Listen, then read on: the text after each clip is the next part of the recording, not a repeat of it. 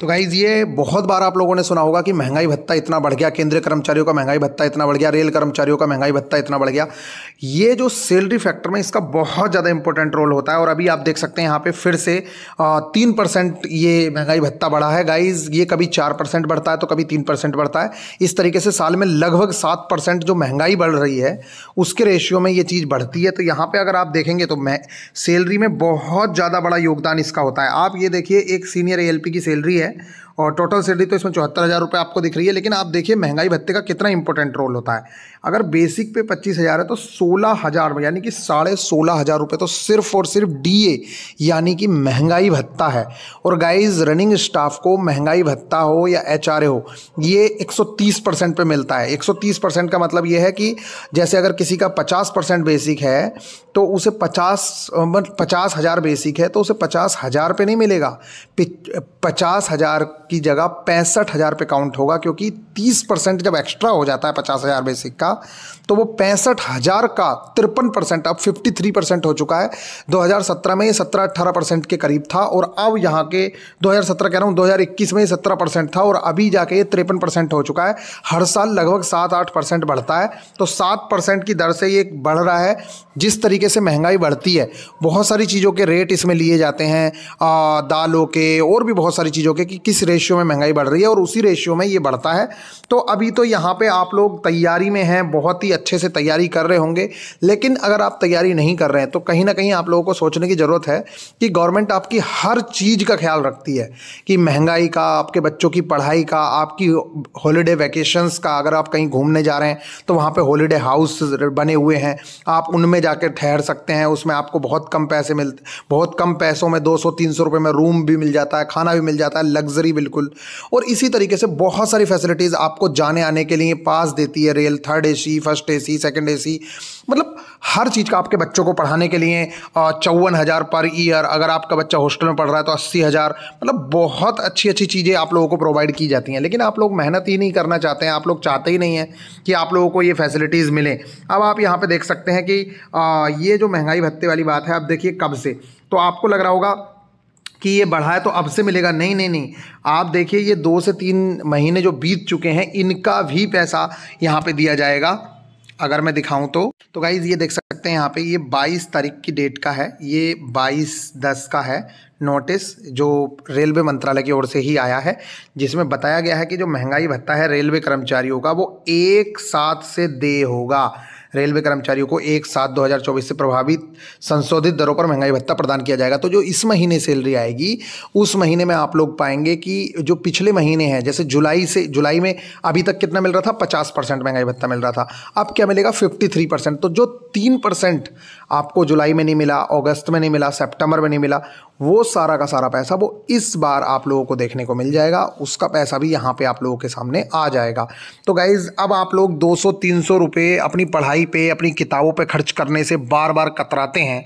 अब आप सोचिए कि अगर एक मतलब किसी का पचास हज़ार बेसिक है ना तो पचास हज़ार बेसिक और फिर उसका आ, तीस परसेंट एक्स्ट्रा लगेगा। पचास परसेंट का तीस परसेंट एक्स्ट्रा तो पंद्रह हज़ार हो गया। तो पैंसठ हज़ार रुपये पे मतलब सिक्सटी फाइव पैंसठ हज़ार रुपये का तीन परसेंट अगर आप निकालेंगे तो आप समझ लीजिए कितना आता है। ठीक है? और इसी तरीके से पैंसठ हज़ार का तो पता ही है आप लोगों को पंद्रह सौ अट्ठारह सौ रुपये से ऊपर ही आ रहा होगा। तो जितना आप पूरी लाइफ में मतलब तैयारी में खर्च करते हैं ना कि दो हज़ार रुपये पूरा खर्च कर दिया आपने, दो साल में, तीन साल में, उतना तो आपको एक बार में मिल जाता है। अगर एक ए की भी बात करें तो मिनिमम आप लोगों का छः सौ, सात सौ, आठ सौ रुपये हर छः महीने में तो इंक्रीमेंट होता ही होता है उस चीज़ में। और एक होता है एनुअली जो आप लोगों को तीन परसेंट का इंक्रीमेंट मिलता है। वो तो मिलना ही है। अब आप देखिए, जैसे मान लेते हैं, बीस हज़ार पे बेसिक पे तो आप जा ही रहे होंगे। मान लीजिए बीस हज़ार बेसिक पे जाते हैं। तो बीस हज़ार का ही अगर देखें तीन परसेंट तो छः सौ रुपये होता है। लेकिन आपको तो बीस हज़ार का मिलेगा नहीं, आपको तीस परसेंट एक्स्ट्रा पे मिलेगा। यानी कि छब्बीस हज़ार बेसिक पे मिलेगा और छब्बीस हज़ार का मल्टीप्लाई करेंगे तीन परसेंट से, तब आप लगाइए कि कितना मिलेगा, पच्चीस या पचहत्तर लगभग लगभग साढ़े सात सौ रुपये मिलेगा आप लोगों को। तो ये एक बार में मिल रहा है, साढ़े सात सौ रुपये और फिर उसका ये हर महीने आप लोगों को एक्स्ट्रा मिलना शुरू हो गया है। फिर इसी तरीके से अगले अगले छः महीने बाद फिर चार परसेंट बढ़ जाएगा। तो इस तरीके से पूरे साल में ये काफ़ी अच्छा बेनिफिट देखे जाता है और इसीलिए मैंने आप लोगों को दिखाया था कि इसका सैलरी में जो रोल है वो काफ़ी ज़्यादा इंपॉर्टेंट हो जाता है। आप यहाँ पे देख सकते हैं। ये देखिए, ये सैलरी में इसका कितना बड़ा इंपॉर्टेंट रोल प्ले कर रहा है। ये सोलह हज़ार रुपये मतलब जितना बेसिक है उससे लगभग आधे से भी ज़्यादा सिर्फ़ और सिर्फ़ आप लोगों को डी देखने को मिल रहा है। फिफ्टी परसेंट था उस टाइम पे, तब भी यहाँ पे आप लोग देख लीजिए कि सोलह हज़ार मिल रहा है और अब फिफ्टी थ्री परसेंट हो गया तो कितना ज़्यादा मिलेगा। फिर इसी तरीके से हर साल एनुअली भी आप लोगों का तीन परसेंट का इंक्रीमेंट होता है। मतलब हर चीज़ का अगर ख्याल रख रहे हैं ये लोग तो आपको पहले इसके लायक बनना तो होगा ना। आप लोग चाहते हैं कि ना मैं तो किताब भी नहीं लूँगा, ना मैं पढ़ाई करूँगा, ना मैं खर्चा करूँगा। तो गाइज़ अभी भी मैं आप लोगों से कह रहा हूँ कि आप जहाँ मन करे, वहाँ से तैयारी स्टार्ट करिए, अपने इन लास्ट टाइम को बर्बाद मत करिए। गवर्नमेंट नौकरी अगर आप लोगों को चाहिए तो निश्चित तौर से आपको मेहनत करने की तो आवश्यकता है।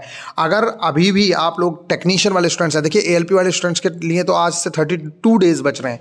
मतलब बहुत ही कम समय बच रहा है अब। अब तो मतलब ये समझ लीजिए, प्री तो चलो क्लियर हो ही जाएगा, लेकिन मेन सोन्स का अभी से नहीं कह सकते। अगर टाइम मिलेगा तो आप निश्चित तौर से कर लेंगे, लेकिन अभी भी टाइम है, आप प्री करियर कर सकते हैं बड़ी ही आसानी से। और बात करें उनकी, क्योंकि दो लाख बयासी हज़ार स्टूडेंट्स सेलेक्ट होना है, बड़ी ही आसानी से निकाल सकते हैं। बात कर लेते हैं टेक्नीशियन स्टूडेंट्स की तो उनके पास अभी पूरा इनफ टाइम है। वो चाहें तो पैंतालीस दिन से भी ज़्यादा का समय है और बड़े अच्छे से अपनी तैयारी को बूस्ट दे सकते हैं। इस टाइम पर आप लोगों की फ़ीस भी दो सौ की गई है। अगर आप चाहें तो निश्चित तौर से इस चीज़ का बेनिफिट ले सकते हैं। और ये जितनी भी बेनिफिट्स हैं, देखिए बच्चे देखते हैं कि भैया आपको तो या कहते हैं कि भैया आप लोगों को तो या गवर्नमेंट एम्प्लॉयज़ को तो ये मिलता है, वो मिलता है। अरे तो उन लोगों ने पढ़ाई भी की है, उन लोगों ने ऐसे नहीं किया जैसे आप लोग कर रहे हैं। अपने कीमती समय को उन लोगों ने बर्बाद नहीं किया है, वो अपने कीमती समय को यूटिलाइज़ किया है। ना उन्होंने कभी देखिए, किसी भी इंसान से पूछ लेना, जो इंसान टॉपर हो या पढ़ने वाला हो, उसने कभी भी अपनी पढ़ाई में लालच नहीं किया होगा। जो उसे किताबें लेनी है, वो उसने ली ही होंगी।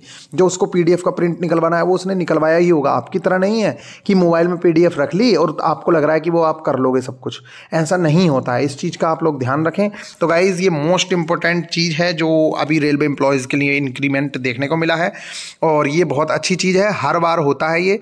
हर साल। अब आप सोचिए ना हर साल सेवन परसेंट ये इंक्रीमेंट हो रहा है। हर साल सेवन परसेंट की दर से। सेवन या एट परसेंट। ठीक है? और जैसे ही ये पचास परसेंट क्रॉस हुआ तो बाकी सारी चीज़ें भी कितने से क्रॉस हो गई? जैसे ये क्रॉस हुआ है, उसी तरीके से चौवन हज़ार नहीं मिलेगा अब। अब ज़्यादा मिलेगा स्टूडेंट्स को अलाउंस जो मिलता है, आपके बच्चे पढ़वाने के लिए। या बाकी भी एचआरए जो है, पहले मान लो सत्ताईस परसेंट मिल रहा था। तो सत्ताईस परसेंट, नौ परसेंट, अठारह परसेंट मिल रहा था तो अब वो दस, बीस, तीस परसेंट हो चुका है। इस तरीके से आप लोग देख रहे हैं तो हर चीज़ में इंक्रीमेंट दिखता है डीए की बढ़ोतरी से। जैसे जैसे महँगाई बढ़ती है, वैसे वैसे सारी चीज़ें बढ़ती जाती हैं। और अब इसका पे रिवाइज होगा। आप देखिए, पहले जो पे रिवाइज हुआ था, सात हज़ार से सीधा अट्ठारह हज़ार हो चुका था। तो मतलब बहुत अच्छा सैलरी हाइक देखने को मिला था। तो अब सैलरी हाइक मिले या कुछ मिले, ये तो तभी बेनिफिट मिलेंगे ना, जब आप लोग गवर्नमेंट एम्प्लॉय होंगे।